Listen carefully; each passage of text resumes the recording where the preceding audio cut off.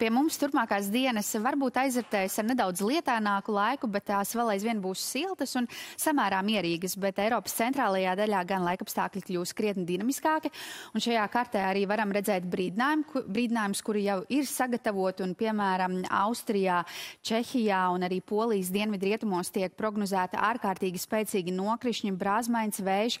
Uh, Jārēķinās, ka lietus gāzes var izraisīt plūdus gan upju tūmā, gan arī ielās. Vējš var raut kokiem zarus, tāpat arī kaitēt infrastruktūrai. Un, Protams, tuvākajās dienās jārēķinās, ka šajās valstīs varētu būt arī kādi satiksmes kavējumi, gan sauzemes, gan arī gaisa. Un, ja ir plāns doties uz šīm valstīm, tad noteikti jāsako līdz arī brīdinājumiem un situācijas attīstībai.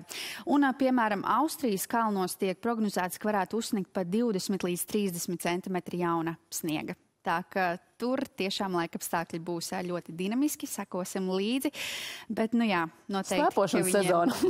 jā, jā. nav slēpos. Un, lai varbūt labāk saprast, tad tas, kas ir gaidāms tur, nedaudz līdzināsies arī tam, ko mēs piedzīvojām 29. jūlijā, kad Kalnciem novērojuma stacijā nolīja te 200 mm nokrišņu. Tā ka tur tur būs interesanti laikapstākļi. Uh, uh, uh. Bet uh, pie mums par laimi viss mierīgi, bet uh, šodien nokrišņus sagaidīsim gan Latvijas austrumos, gan arī vietām kurzemes rietumos. Un pastāv iespēja, ka dienas otrajā pusē vidzemē un latgalē arī varētu izveidoties kāds negaisa mākonis. Mazāk mākoņu šodien būs valsts centrālajā daļā, bet arī tur vakar pusē mākoņu daudzums palielināsies un arī sagaidīsim lietu. Bet diena būs patīkami silta, maksimālā gaisa temperatūra šodien Latvijā plus 18, plus 23 grādi.